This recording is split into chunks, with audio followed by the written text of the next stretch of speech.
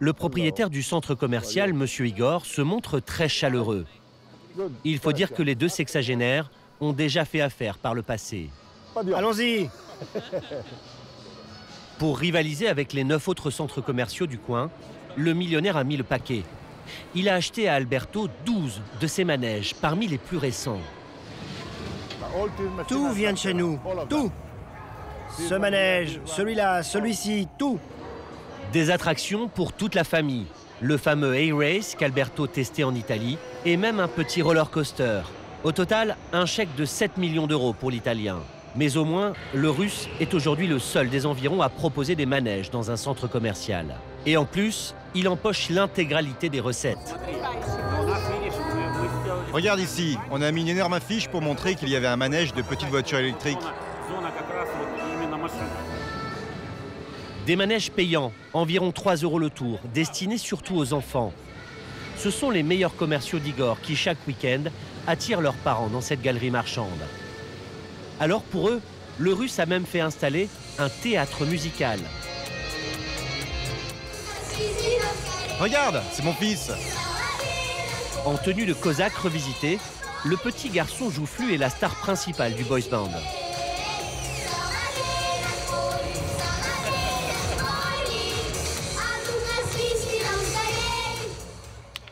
Grâce à ces attractions, le russe enregistre 30% de clients de plus que ses concurrents. Alors, avec son associé, Sergei, l'homme d'affaires projette déjà d'ouvrir un deuxième centre commercial avec encore plus d'attractions. On a envie d'ouvrir autre chose. On doit d'abord réfléchir, bien roder la machine ici, et ensuite réfléchir à de nouveaux projets. Pour Alberto, c'est un gros contrat en perspective, à plusieurs millions d'euros. Allez, venez, venez Mais avant de parler business, le russe insiste pour que l'italien monte dans ses manèges qu'il lui a payé rubis sur l'ongle. Allez, montez, montez Le PDG ne se fait pas prier. Le pire serait de braquer son client, un ancien officier de l'armée rouge.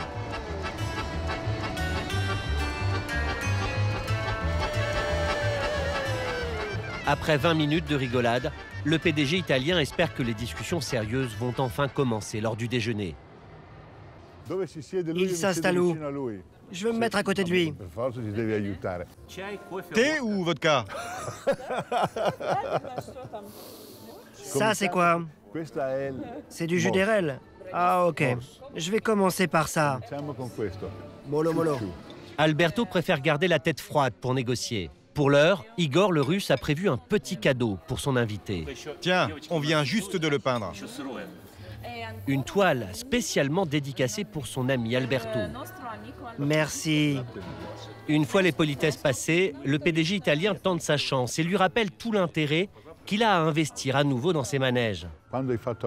Une fois que l'investissement est amorti, ce n'est que du cash qui rentre. Les coûts d'entretien, ce n'est que 30 ou 40 Mais avec Igor, le russe, on ne signe pas un contrat si facilement. Si Alberto veut vendre ses manèges, il va devoir d'abord réussir le parcours du combattant que lui a concocté Igor. Il est 15h et ça commence par une visite de la ville à moins 10 degrés. Regarde, c'est l'église qui est là. Malgré le décalage horaire de 6 heures dans les pattes, l'Italien va arpenter pendant plus d'une heure cet ancien goulag. Ah, l'ancien gouverneur. Un camp de travail forcé de l'Union soviétique où jusque dans les années 50, des militaires comme Igor enfermaient les opposants au régime communiste. Allez, on y va, sinon on va geler. Il est 17h, ils n'ont toujours pas parlé business. Et Alberto a oublié ses bonnes résolutions du midi. Alberto sait bien que s'il veut signer son contrat, il va devoir suivre le rythme du russe. À la nuit tombée, petit tour au karaoké. Toujours pas de contrat conclu. Car sa mise à l'épreuve est loin d'être terminée. Le lendemain, à 40 minutes de la ville, dans les plaines de Sibérie. N'oubliez pas de dire bonjour à notre ami. Regardez, on peut le caresser. Après une nuit bien arrosée, L'homme d'affaires russe a invité le PDG italien dans cette maison de campagne, une dacha, qu'il loue régulièrement pour les grandes occasions. Ce matin, petit déjeuner traditionnel. Tu veux du porridge Porridge Du porridge, oui. À un détail près, chez le millionnaire russe, les crêpes se dégustent avec du caviar à la louche.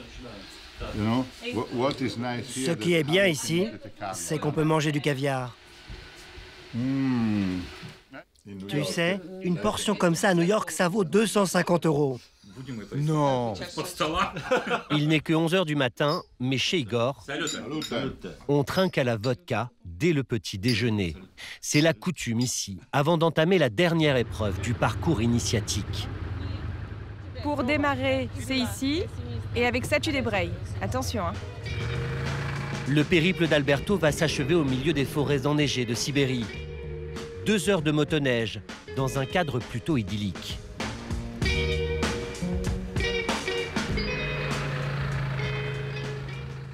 C'est sublime. Quelle expérience. C'est très particulier de faire du commerce en Russie. Pour signer un contrat, il faut d'abord devenir ami. Ils vous emmènent partout, on partage tout. Mais si vous ne buvez pas de vodka avec eux, c'est impossible de conclure un contrat. Les efforts de l'Italien ont finalement payé. Après deux jours passés ici, son hôte va lui proposer de s'associer pour ouvrir un énorme complexe de loisirs, non pas en Russie, mais de l'autre côté de l'Atlantique, aux États-Unis. En attendant, il y a un client bien plus gros qu'Alberto Zamperla ne voudrait surtout pas manquer. Un projet de centre commercial qui aurait de quoi concurrencer Las Vegas,